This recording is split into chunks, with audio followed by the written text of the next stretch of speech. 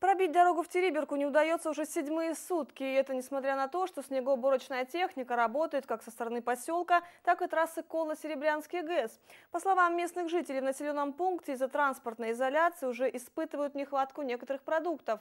Наша съемочная группа попыталась проехать к месту событий. Сейчас беспрепятственно можно добраться до 32-го километра трассы Кова-Серебрянская ГЭС. Это рядом с военным аэродромом Североморск-3. Именно на этом месте стоит патруль ДПС. Дальше с каждым километром дорога сужается, а заносы становятся все выше. Движение можно продолжать, но путь больше похож на проезд по снежному коридору. Две машины здесь уже не разъедутся. Здесь недалеко от развилки на Териберку и Туманы сугробы достигают человеческого роста. Ну а как говорят дальше, они и вовсе 8-метровой вышины. Основная причина таких заносов – это сильный ветер, который чувствуется даже в такую ясную погоду.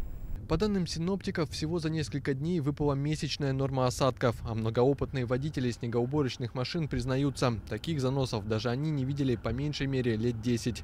Да, дорогу на Териберку закрывают из-за погоды каждый год, но чтобы транспортное сообщение прерывалось больше, чем на сутки, такого не было.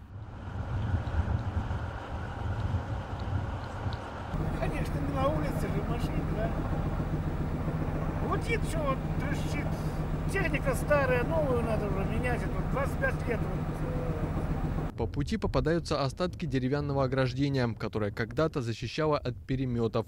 Сейчас эта система полностью разрушена. Да и сама снегоуборочная техника, выпущенная в прошлом веке, не отличается высокой продуктивностью.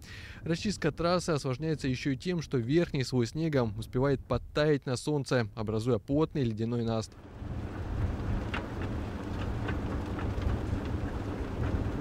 Работает, работает техника круглосуточно.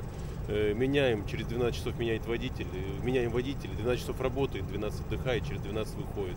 Как, ситуация сложная, сами же знаете. По данным Автодора, на рукаве до Териберки сейчас работает 17 единиц техники. Задействовано несколько погрузчиков и бульдозеры. Сказать, когда точно откроют дорогу, пока никто не берется. Меж тем, жители поселка по-прежнему испытывают дефицит некоторых продуктов. Перебоев с теплоснабжением и электроэнергией нет.